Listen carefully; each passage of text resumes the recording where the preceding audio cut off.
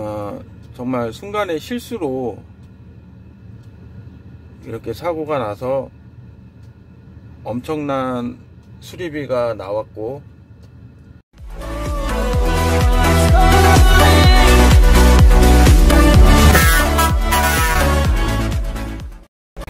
네 오늘 본점 쪽에서 사고가 났습니다. 그래가지고 이렇게 좀 범퍼가 뒤로 밀렸고요. 라이트 깨지고 이것도 날라가고 사각지대 미러도 깨지고.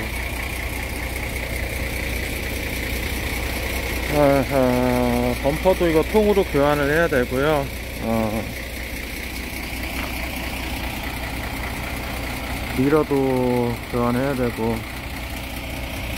탑이 살짝 안에 탑 잡고 있는 부싱이 휘었나봐요 그래고 아하 그것도 지금 교환을 해야 되고 한 어, 수리하는데 4일에서 5일 정도 걸린다고 하네요. 사고가 정말 어이없게 나가지고 정말 왜 그랬을까 지금 생각해보면 어, 상차지에서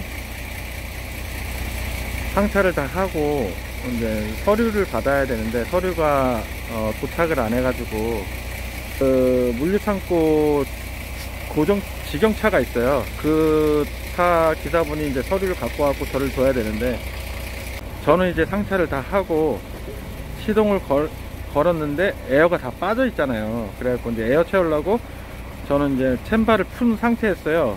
어차피 챔바를 풀러도 에어가 다 빠졌기 때문에 차가 안 굴러가거든요. 그래서 차를 우측으로 빼놓으려고 이제 살짝 내리막길이에요. 근데 에, 에어가 다 차면 이제 자동으로 밀, 밀리겠죠. 그래갖고 이제 아 다 차면 이제 아 우측으로 빼놓으려고 했는데 그 찰나에 그 기사분이 온 거예요. 그 기사분이 오셔갖고 이제 저 서류를 주려고 내리는데 저도 아 이거 챔파 끌려놓은 걸 깜빡하고 나서 내린 거죠. 내리고 나서 서류를 받고 거기서 받고 바로 탔으면 문제가 안 됐는데 서류가 두 개라 또 사무실 가서 물어봐야 돼요. 어떤 건지 사, 서류가. 그래서 이제 들어가려고 딱 하는데 꽝 소리가 난 거예요. 그래갖고 앞에 있는 탑차 옆구리를 쳤어요. 거리는 한 5m? 5m도 안 되는데 짐이 실려 있어갖고 조금 이렇게 데미지가 크네요. 어쨌든 지금 그래도 견적을 뽑았는데 한 500만원 정도 나올 것 같다고 합니다. 정말 생각지도 않게 너무 어이없게 사고가 나가지고 좀 마음이 아프네요. 뭐 지금 후회해봐야 뭐 어쨌든 일어난 일이고 네 지금 트럭보이가 저 픽업하러 또 와줬습니다. 고맙게 와줬고요. 여기 저는 이제 차 여기 맡겨놓고 이제 저기 트럭보이 통화 중인데 어, 한 4일이나 5일 정도에 수리되면은 그때 찾으러 오겠습니다. 네 오늘 차 수리하고 어, 하차하고 상차지 배차를 받았는데 하필 또 사고가 났던 그 장소에 상차를 하러 왔습니다. 이렇게 독고에 대놓고 상차를 하고 이제 차에 탔다가 이제 서류를 받으려고 여기 이제 차가 여기 와가지고 잠깐 내려서 받고 저기 사무실로 가는 도중에 이제 사이드 풀린 걸 모르고 에어가 다 차면서 이제 여기 앞으로 이렇게 굴러간 거죠. 여기 바로 앞에 이제 오톤차인가? 오톤 여기 탑차 여기 탑차가 이렇게 가로로 주차를 해놨고요. 그렇게 굴러오면서 이렇게 받친 거예요. 거리는 얼마 안 돼요. 하나, 둘, 셋, 넷, 다섯, 여섯, 일곱, 여덟, 한 9m 정도? 아, 근데 여기가 살짝 내리막길이라 탄력이 붙어갖고, 아, 그 차는 데미지가 그, 그렇게 크진 않았는데, 제가 이제 이렇게 사이드 풀리면은 좌측으로 이렇게 저쪽에다 차를 대놓으려고 핸들을 꺾어 놓은 상태였어요. 왼쪽으로 이제 굴러가면서 이제 왼쪽으로 살짝 꺾이면서 이 조수석 범퍼 범퍼 이 조수석 범퍼를 받아가지고 어 조수석 쪽에 조금 데미지가 있었습니다. 네 이렇게 보시면 이게 작업 내용이고요. 어 만차 제 모델 같은 경우는 범퍼가 통 범퍼라 좀 가격이 비싸요.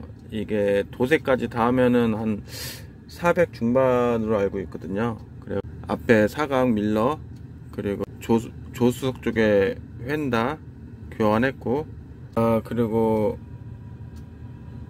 수리하면서 바빠서 못했던 거 밀어뒀던 것도 같이 하는 김에 같이 해가지고 아 어, 그래서 수리비가 총 732만 4,570원이 나왔습니다. 아, 진짜 한숨만 나옵니다. 아, 부품액이 353만 8,700원인데, 지금, 근데 공임이 300만원 돈이 넘었습니다. 300만원 돈이 넘었고, 부가세 포함해서 토탈 700만원 조금 넘게 나왔는데, 아, 정말 순간의 실수로 이렇게 사고가 나서 엄청난 수리비가 나왔고 어, 요번에 다시 한번 느낀 거지만 항상 정신 차리고 신경 써서 해야 이런 사고를 예방할 수 있지 않을까 싶어요. 어, 사고라는 게 언제 어디서 어떻게 일어날지 모르잖아요. 정말 사고 나면 손해가 엄청 나요. 어, 이큰 트럭들은 진짜 조금만 사고 나도 금액대가 엄청 크기 때문에 저희 같이 아는 형님도 어, 졸음 운전 아 졸음으로 인해서 어, 사고가 났는데 견적이 그때 6천만 원 정도 나왔습니다 6천만 원. 정말 이렇게 사고가 한번 나면 금전적으로도 데미지가 크기 때문에 항상 조심해서 운전을 해야 할 것 같아요. 정말 신경 잘 써서 운전을 해야 할 것 같고요. 아... 이번 사고로 인해서 뭐 돈도 돈이지만 보험료도 지금 40%가 올랐고 1년으로 따지면 한, 한 100, 120 정도 또 상승이 됐습니다. 그래서 어쨌든 2년 동안은 어, 사고 없이 조심해서 타야 될 것 같고요. 그나마 다행이었던 게 제가 사고가 없어갖고 60%였거든요. 그리고 이번에 이제 40% 오르면서 100%가 돼가지고 어쨌든 마음이 아픕니다. 아, 순간의 실수로 이런 참사가 일어난 것 같아서 정말 마음이 아프고 반성도 하고 있고요. 근데 어쨌든 여러분들 어, 모든 운전하신 분들 항상 안전운전 하시고요. 다음에 또 뵙겠습니다. 즐거운 하루 되십시오.